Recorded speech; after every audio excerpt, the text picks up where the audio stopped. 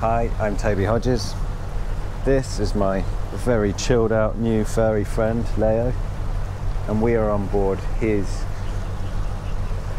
Fountaine Pajot Aura 51, the second of these yachts to launch.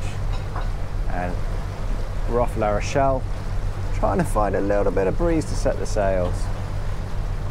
So, it's a good chance to walk you through this big, spacious cruising catamaran.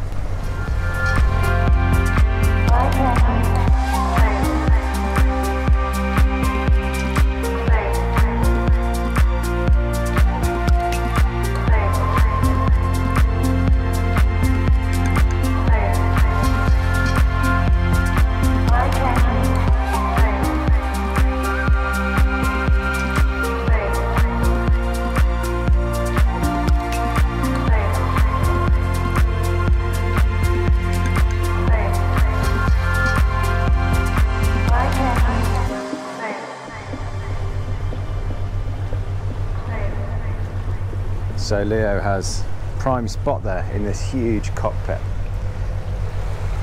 And this Aura 51 belongs to Johan and Christine Salen. So if you recognize the name, he's the co-owner of what was the Volvo Ocean Race, the Ocean Race.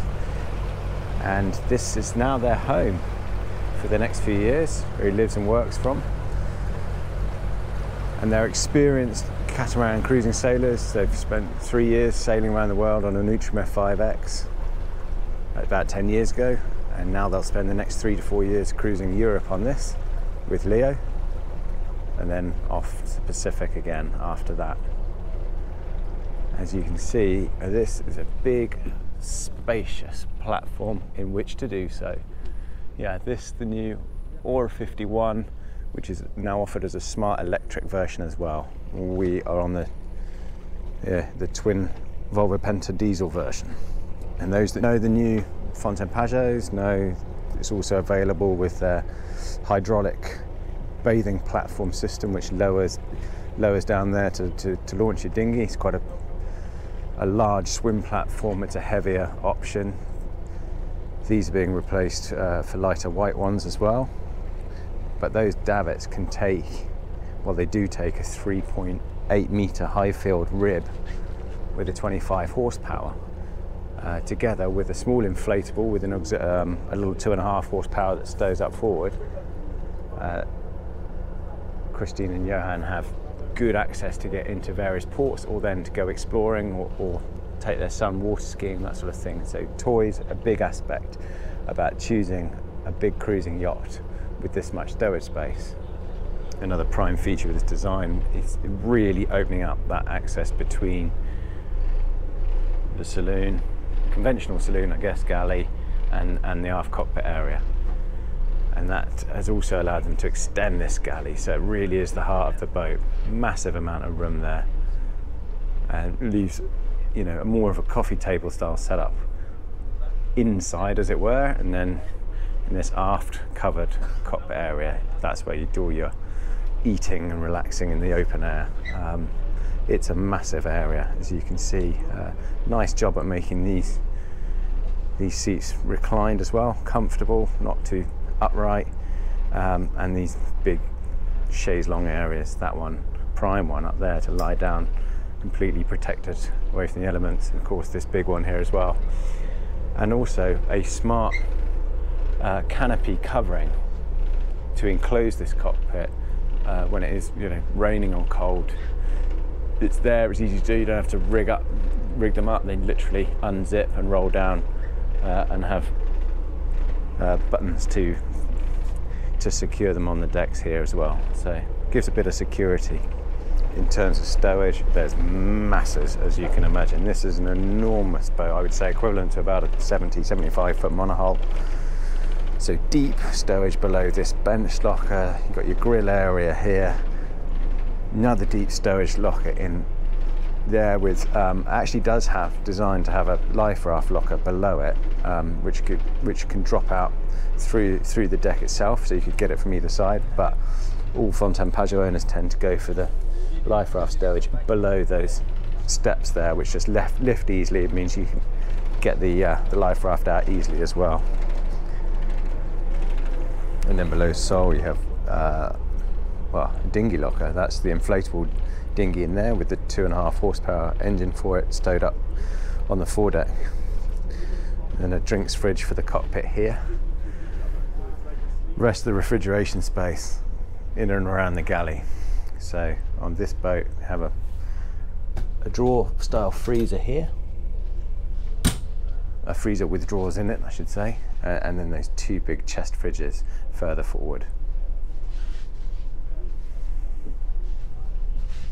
You see it's, uh, yeah, a massive amount of kitchen galley room in the heart of the boat.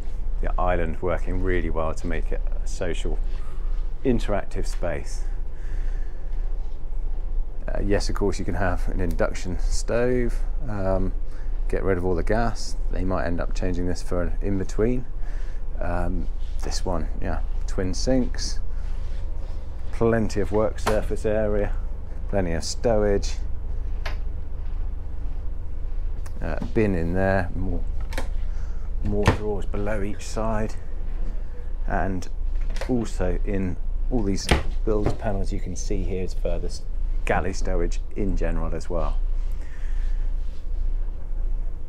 Slightly unusual, I think, is to pretty much get rid of the nav station completely. So, yeah, there's it's touchscreen um, 12 volts, 24 volt system here to, to access Hang on, let me turn this screen off, stop it flickering. Yeah, so unusual not to have a nav station or desk area really. This one's set up just to have touch screen for your, your normal switch panel to see your water systems, that sort of thing. Um, but you can also have on the Garmin touchscreen there as well. I Won't focus on that because it's flickering. And there's also one for, for the 240 volt um, but the Johan tends to do his work from his main desk area, which is down there. I, yeah, I think I would probably miss personally having a forward-facing area to do that. But there is this this deck is one layout only, really, apart from the choice of having that a lowering table there.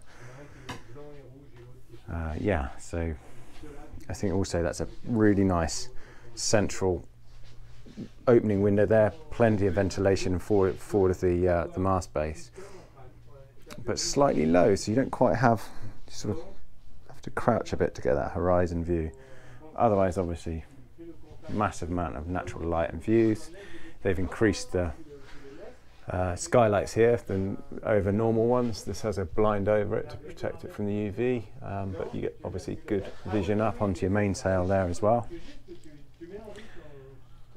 Uh, yeah, and then big area for your refrigeration. Say this this can drop to fill in there, make a big day bed, and you've got a TV back on that aft bulkhead. Not short on places to sit down and relax.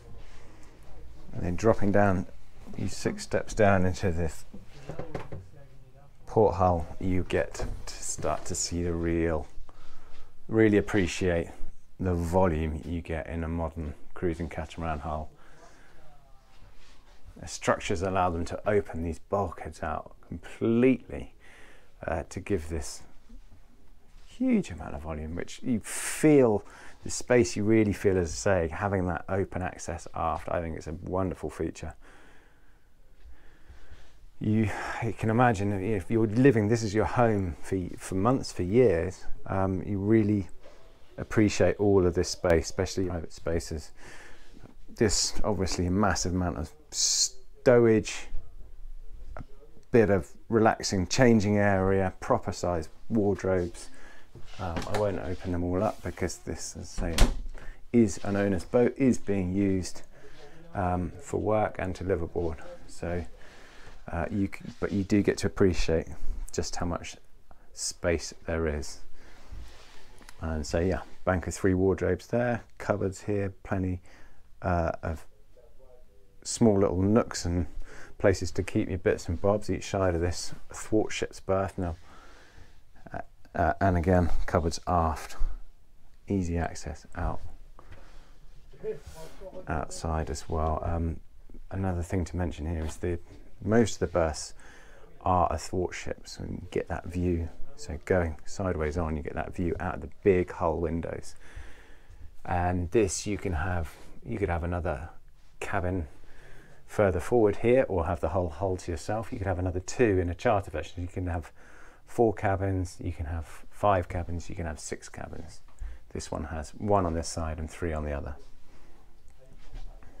More stowage going forward, and then this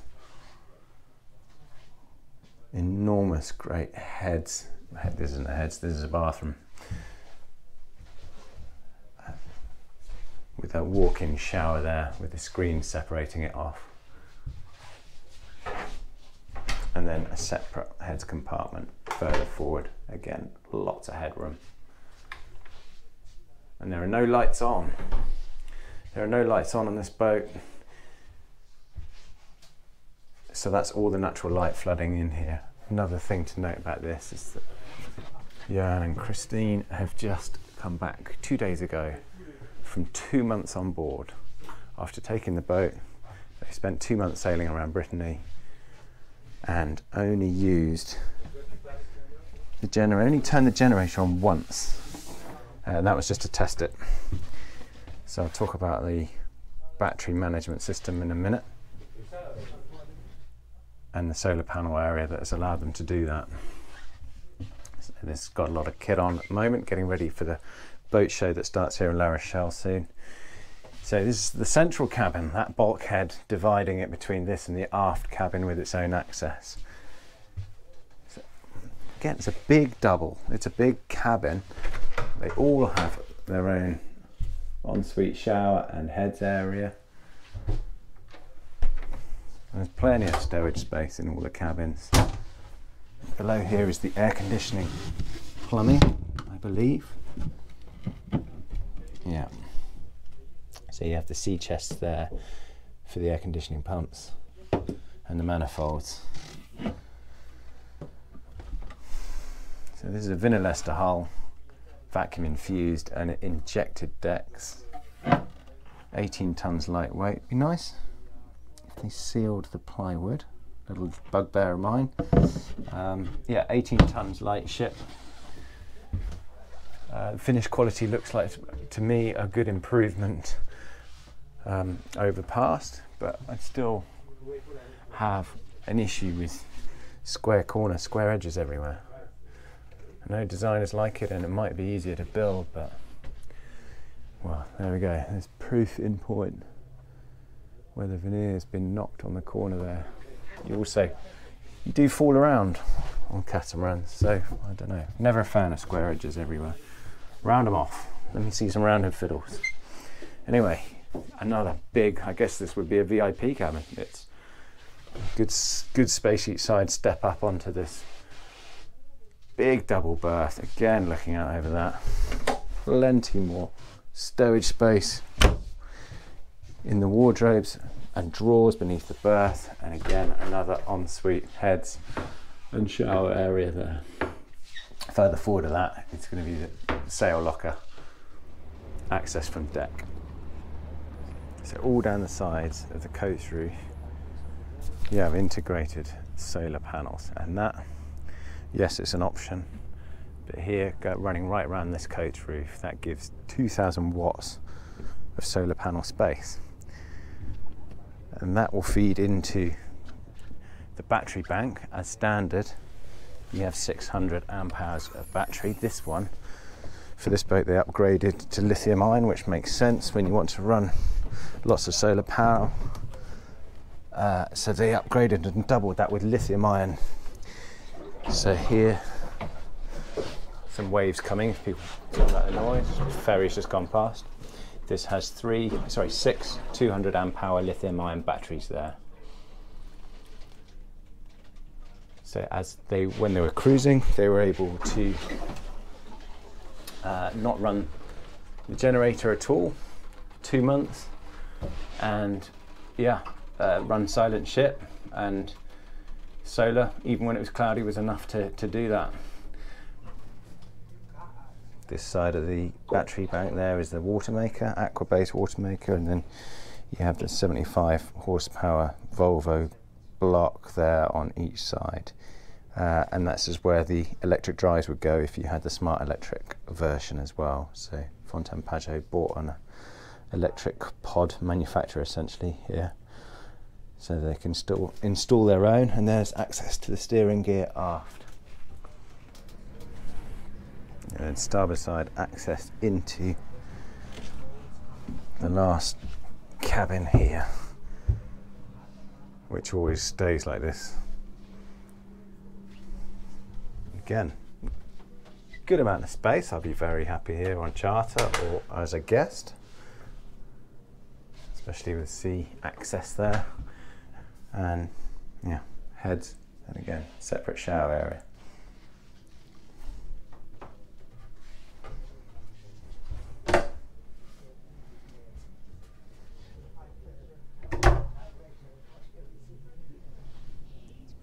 Hatch on this side and on the starboard side access into the, the forepeaks. So this you've got all your lines and fenders below this one and um, all your water sports toys below the other. So we have a little bit of wind coming and Johan and Christine just showing us how they sail the boat a bit more because we haven't really had the chance yet.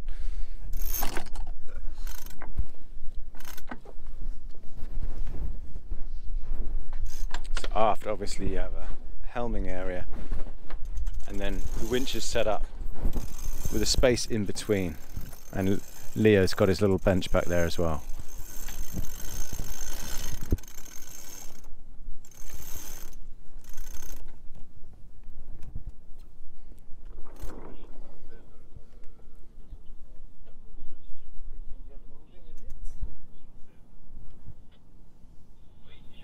So this is actually quite convenient that you can control winches, halyards, sheets, reefs and helm at the same time. That's uh, pretty useful. So you presumably you tend to put it on autopilot and then um, you just stand here to trim. Yeah, normally when we hoist to sail or when we do a maneuver, either if it's really really light and you have time, I can turn this up. You can just oop, helm behind your back, Yeah. but uh, it's also easy to just put the autopilot and, u- and use the autopilot.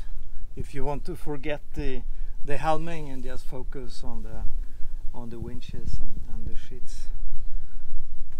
So now we are accelerating. We got 3.5 knots of wind. so hold on.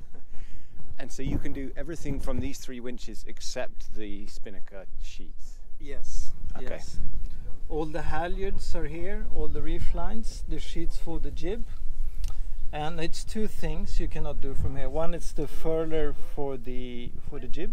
You can bring it up to this winch Mhm. and furl it electrically. But the sheets for for a spinnaker or a bigger head sail you need to do from from the back. And and what about visibility, especially when you're docking? It's it's okay, or you or presumably you always try and dock starboard side too. Yeah. Now you you get used to it, but for sure it's easier when you do it on on, Yeah. on starboard side. So if you can, that's a preference. But uh, Or you just avoid marinas. that's what we do mainly. But you can actually, if if you sort of bend down, you can see the other side a bit from here. yeah. But you don't have the same overview. As you would have on this side. That's for sure. and it's unusual for performance sailors to to not keep going up in a performance thing and they're recognizing that you only spend less than 10% of your time sailing.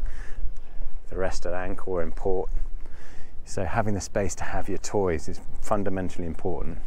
Johan an ex-professional windsurfer they've got room for their windsurf boards they've got room for you know big dinghy for water skiing and stuff so it's you can enjoy your more performance side of sailing, your adrenaline sport once you're once you're on the hook, because you've got space to take you've got space to take the toys with you.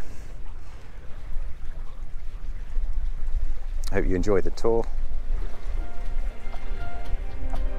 See you next time.